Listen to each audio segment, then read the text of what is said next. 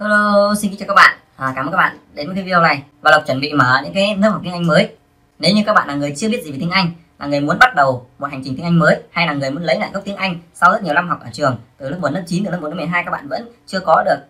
đã không có được kiến thức nền tảng của tiếng Anh hoặc các bạn vẫn chưa sử dụng được tiếng Anh trong cuộc đời của mình thì các bạn hãy nhắn tin và Zalo Facebook cho Lộc thì Lộc sẽ giúp đỡ và tư vấn cho các bạn. Và các bạn có thể đồng hành cùng Lộc và cùng rất nhiều các bạn học sinh khác để bứt phá khả năng tiếng Anh của bạn, à, học tiếng Anh một cách tuyệt vời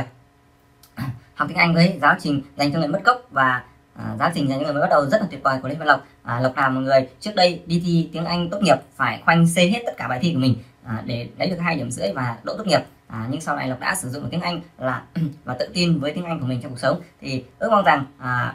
các bạn có nhu cầu muốn tham gia khoa học tiếng Anh muốn phá vỡ khả năng tiếng Anh của mình chỉ sau 3 tháng đến 4 tháng các bạn có thể sử dụng tiếng Anh như một ngữ thứ hai của mình thì các bạn hãy liên kết với Lộc ngay lập tức liên kết với Lộc nha. Cảm ơn các bạn đã xem video này.